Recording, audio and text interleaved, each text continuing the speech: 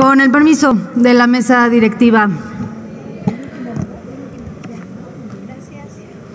Las niñas y los niños que viven en centros penitenciarios merecen condiciones dignas.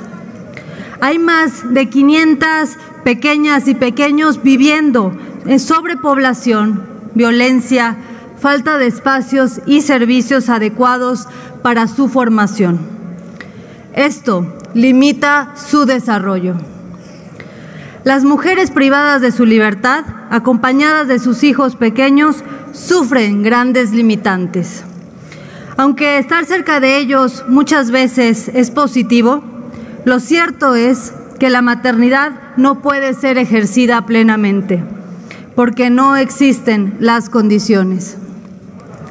La brecha es grande y hay mucho que avanzar para garantizar el derecho a la maternidad y a la lactancia de las mujeres en prisión. Aunque desde, 2011 se reconoció este derecho y es una obligación, hoy no se tienen espacios adecuados para las madres y sus hijos. La carencia de espacios exclusivos e higiénicos de lactancia es inaceptable y perjudica al menor para su desarrollo y un adecuado vínculo con su madre. Es alarmante que solamente 11 de 450 centros penitenciarios cuenten con espacios de lactancia. Y estos ni siquiera se acercan a tener espacios óptimos. Este dictamen busca sentar un precedente muy importante. Luchamos para reconocer el derecho de las mujeres en las cárceles a tener espacios de lactancia donde se garantice su integridad, su higiene y su privacidad.